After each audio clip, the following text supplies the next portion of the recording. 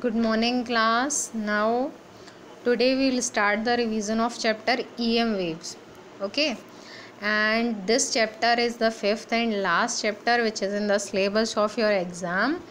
And take care of this thing that most of the uh, conceptual and very uh, short and MCQ type questions are there in the exam from this chapter. हमेशा exam में होते इसका weightage भले ही कम हो, लेकिन इसमें M C Q की कोई लिमिट नहीं होती। इसमें एम सी क्यू बहुत ढेर सारे बन सकते हैं।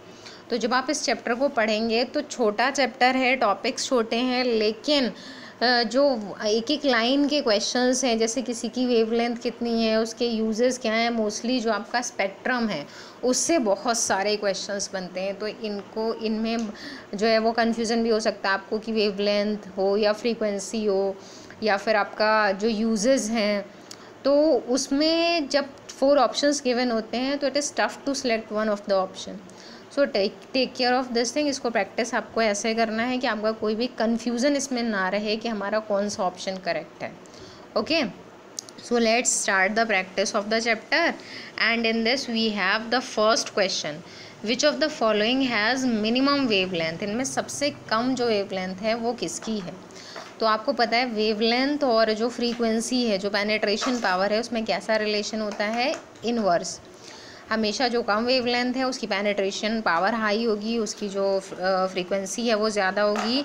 तो यहाँ पर जो आपके पास फोर ऑप्शंस हैं, उनमें ब्लू लाइट का कोई सेंस नहीं है गामा रेज इंफ्रारेड रेज और माइक्रोवेव तो सबसे जो कम वेवलेंथ है और जो सबसे ज़्यादा फ्रीक्वेंसी होती है that is of gamma rays तो यहाँ आपका ऑप्शन बी जो है दैट इज़ करेक्ट फिर come to second question which of the following has maximum penetrating power इसी का जस्ट अपोजिट क्वेश्चन है।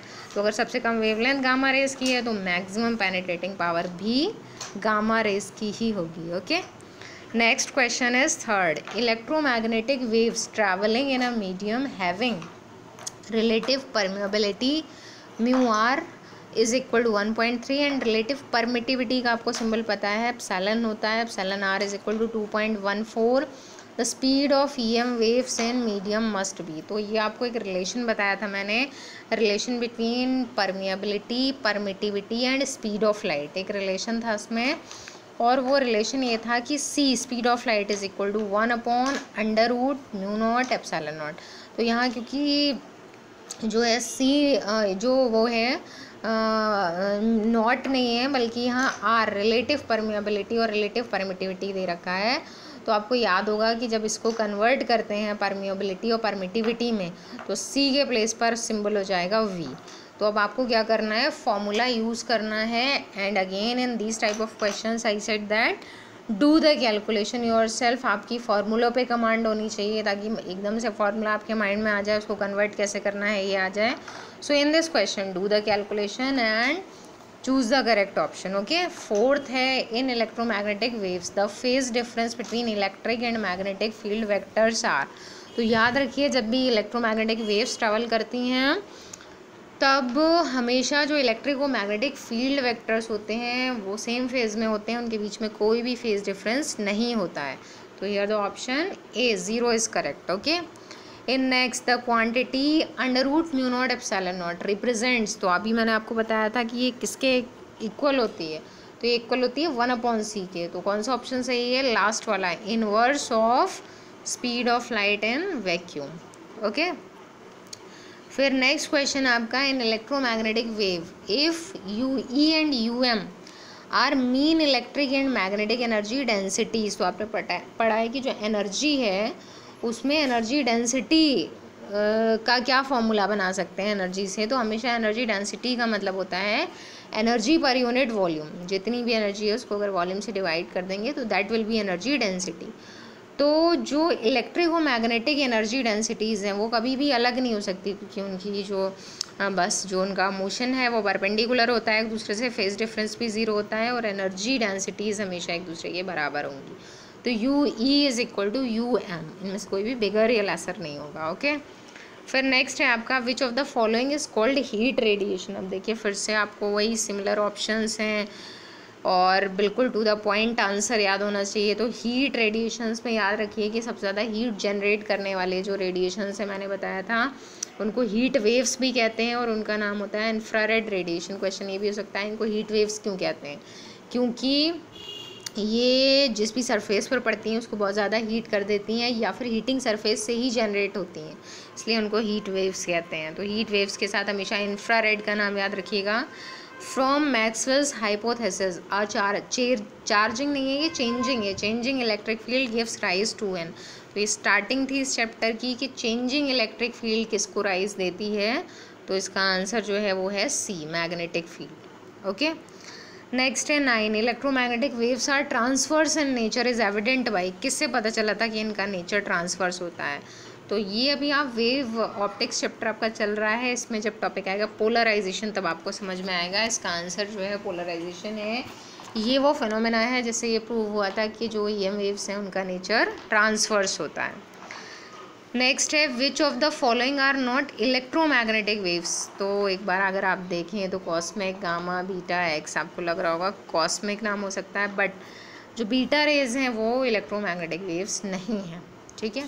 बीटा रेज का यहाँ कोई रोल नहीं है बीटा रेज बीटा पार्टिकल्स होते हैं but there are no beta rays those are of E M type okay next है ten centimetre is a wave length corresponding to the spectrum of अब फिर से एक ऐसा कॉम्प्लिकेटेड क्वेश्चन जिसमें आपको बिल्कुल एग्जैक्ट आंसर याद होना चाहिए। तो क्योंकि वेवलेंथ जो है वो सेंटीमीटर में गिवन भी नहीं है मिलीमीटर में दे रखी या मीटर में याद हो आपको तो याद रखिएगा टेन सेंटीमीटर जो वेवलेंथ है वो है माइक्रोवेव्स ओके नेक्स्ट है if vector E and vector B represent electric and magnetic field vector of the electromagnetic waves then the direction of propagation of the wave is that of तो हमेशा इसमें जो है वो क्रॉस प्रोडक्ट दिखाते हैं। C option is correct vector he cross vector भी होगा।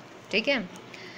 नेक्स्ट है the structure of solids is investigated by using तो ये यूजेस में आ जाता है। स्ट्रक्चर ऑफ़ सॉलिड किससे इन्वेस्टिगेट करते हैं? तो फिर से to the point answer exact पता होना चाहिए। And its answer is X rays B option is correct next is the condition under which a microwave oven heats up a food item containing water molecules most efficiently is तो क्या reason है कि जो microwaves हैं, वो food items को, जिनमें water molecules होते हैं ईजिली हीटअप कर सकती हैं?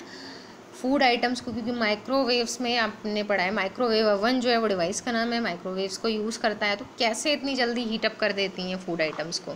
क्योंकि उनके अंदर जो वाटर मॉलिक्यूल्स प्रेजेंट होते हैं, वो उनकी बहुत जल्दी हीटिंग हो जाती है रीज़न क्या है?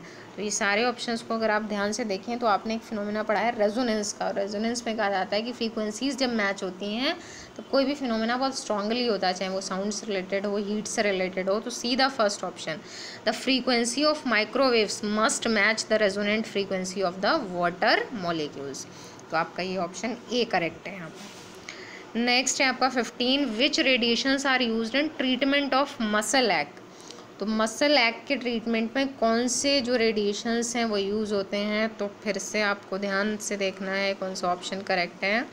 उसका सही ऑप्शन है इंफ्रारेड ओके नेक्स्ट है आपका the correct option if speeds of gamma rays X rays and microwave अगर इनकी स्पीड्स ये हैं तो क्या रिलेशन होना चाहिए? तो रीजनिंग है कॉन्सेप्चुअल क्वेश्चन है, क्या रिलेशन होना चाहिए? तो थिंक अबाउट दिस अब क्योंकि स्पीड ऑफ़ लाइट सबके लिए अलग अलग नहीं है स्पीड ऑफ़ लाइट सारे रेडिएशन की एक ही है, उसका मतलब जो फैक्टर चेंज नहीं होता है, उसमें क्या है? स्पीड तो option D will be correct कौन से, कोई भी रेडिएशन हो, लेकिन स्पीड तो हमेशा सबकी एक ही रहेगी, सारे स्पीड ऑफ़ लाइट से ही ट्रैवल करते हैं। नेक्स्ट सेवनटीन है waves in decreasing order of their wave length तो वेव लेंथ सबसे ज़्यादा किसकी होती है? तो हमेशा सबसे ज़्यादा आपने सबसे पहले पढ़ा है रेडियो वेव्स दो ऑप्शन है आपके बी सी और डी में भी रेडियो वेव्स है. रेडियो वेव्स के बाद में किसका नंबर आता है? तो हमेशा याद रखिएगा रेडियो वेव्स के बाद में नंबर आता है इंफ्रारेड का. ठीक है? तो कौन सा ऑप्शन आपका यहाँ जा रहा है? सी तो देखिए एक बार रेडियो वेव्स इंफ्रारेड विजिबल और एक्सरेज ये आपका करेक्ट जो है वो सीक्वेंस है okay so now practice all these okay thank you